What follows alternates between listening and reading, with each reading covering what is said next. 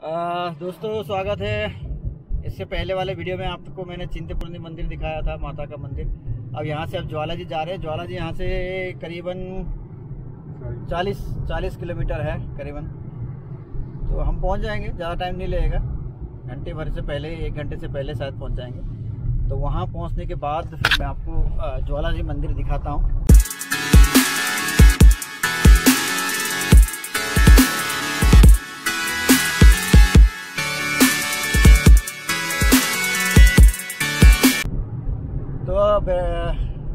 बैठे बैठे बोर होके जाने से अच्छा है तो कुछ आपसे बातचीत करते हुए चलें। तो कुछ ज्वाला जी के बारे में बताता हूँ। ज्वाला जी इक्यावन शक्तिपीठों में से एक है। ज्वाला देवी का जो मंदिर है, इक्यावन शक्तिपीठों में से एक है, और वहाँ देवी का जो जीव है, टंग है, वो वहाँ गिरी थी।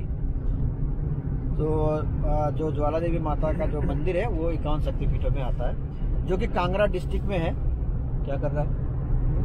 हिमाचल प्रदेश से प्रदेश के कांगड़ा डिस्ट्रिक्ट में है। ये मुझे बार बार डिस्टर्ब कर रहा है आप लोगों को बताने बताने नहीं दे रहा है। तो हिमाचल प्रदेश के कांगड़ा डिस्ट्रिक्ट में है। तो चंडीगढ़ से लगभग 200 किलोमीटर कितना होगा? 200 हाँ 210 चंडीगढ़ से 210 किलोमीटर है। तो हम पहुँचने वाले हैं। 210 किलोमीटर हम आ गए हैं। तो वहाँ डायनासोर भी खरीदेंगे वहाँ जो है ज्वाला जी का जो मंदिर है वहाँ जो पत्थर है, उसमें एक जोत जलती है। मैं आपको दिखाऊँगा। जो दीवार है या जो भी बोलिए, दीवार टाइप में है, या कोई पत्थर है, वहाँ जोत जलती है। ऑटोमेटिक एक जोत जलती है। उसका सोर्स का अभी तक पता नहीं चला कि किस सोर्स से वो जल रहा है, कोई है। तो ये नहीं पता, मैं आपको सारा दिखाऊँगा ज्वाला देवी के मंदिर में। तो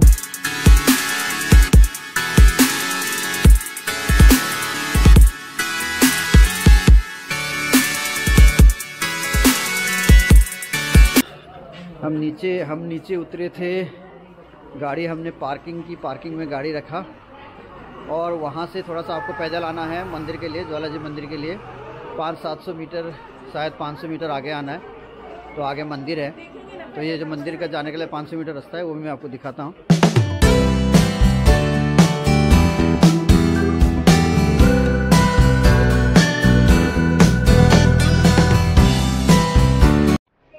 हम यहाँ पे जूते उतार लेते हैं। जैसे आपको मिल जाएँगे जूते प्रसाद जूते रखने के लिए प्रसाद खरीदने के लिए काफ़ी दुकानें हैं।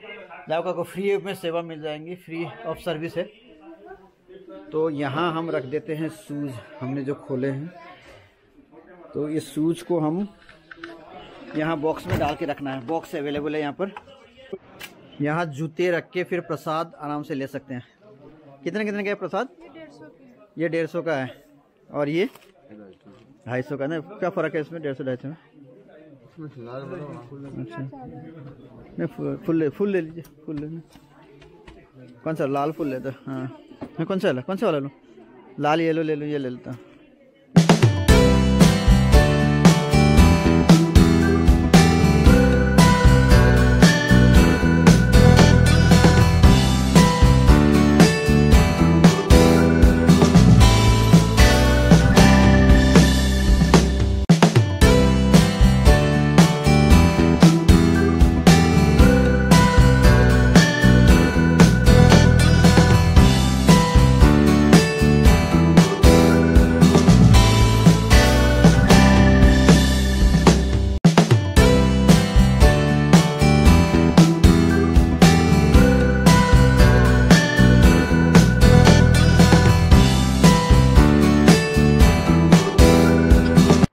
मेरे पीछे आप देख सकते हैं ये ज्वाला जी का मंदिर है और ये इक्यावन शक्तिपीठ में से एक है जो मैं आपको सारा मंदिर दिखाऊँगा। हम मंदिर पहुँच चुके हैं और अभी आ, मंदिर के अंदर दर्शन के लिए जाना है। तो मंदिर के अंदर दर्शन के लिए चलते हैं हम।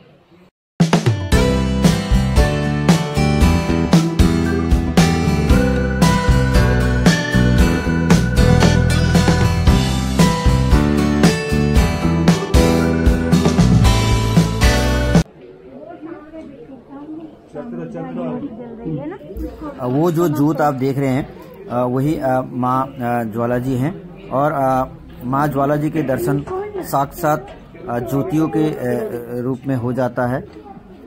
मंदिर के अंदर माता के नौ ज्योतियाँ हैं जिन्हें महाकाली अन्नपूर्णा चंडी हिंगलाज विद्यावासिनी महालक्ष्मी सरस्वती अंबिका अजनी देवी के नाम से जाना जाता है। इसको इसको कहाँ रखना है? पता नहीं।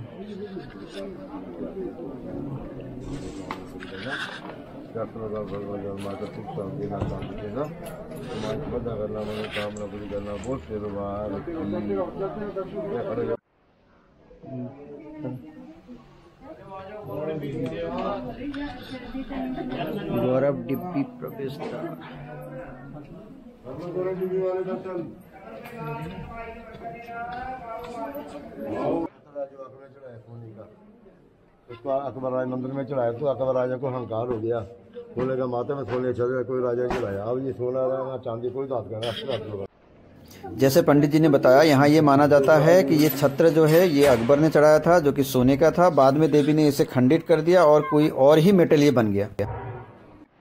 तो ये थे माता ज्वाला देवी जी का मंदिर। और ये जैसे कि आपको मैंने पहले बताया ये एक शक्तिपीठ है। इक्यावन शक्तिपीठों में से एक है, जहाँ पर देवी के जीव गिरे थे यहाँ पर, देवी के टांग गिरे थे।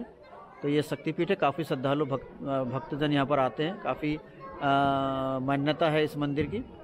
तो ये मेरा जो वीडियो है, इस वीडियो का इस, ये पार्ट यहीं पर मैं ख़त्म करता हूँ। मेरे अगले पार्ट में मैं आपको कहीं दूसरी जगह मिलूँगा।